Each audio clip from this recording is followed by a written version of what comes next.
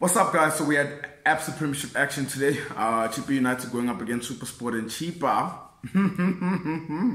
Chippa United winning that 1 1 0. I tell you what, man, this team is not playing like a relegation team, guys. Are they not? I'm I'm impressed. I'm impressed with what I saw today.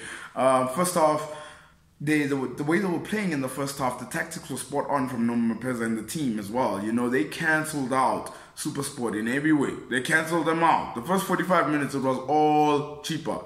Ronwen Williams made a number of good saves, a number of good saves, about maybe three or four good saves, and eventually uh, Chippa United find the breakthrough 1 0. Second half, I think then, I think I'm starting to realize that like Chippa's probably the last team you also want to like concede to. If you make them take the lead, it's just going to be hard to break them down, and that's what I saw with regards to uh, Supersport. Is that it almost felt like no matter what Supersport threw, it was just not.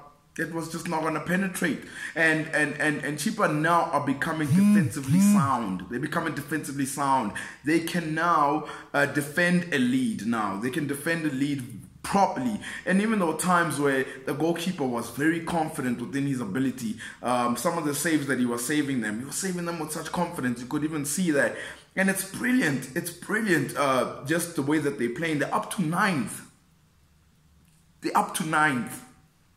They're up to ninth. You know, like it's for me. I tell you one thing for sure. Big ups to to Norman Mapeza. Big ups to to the, the the, the changes that they made with regards to the team. They proper solid. They proper solid, and I was impressed with their first half.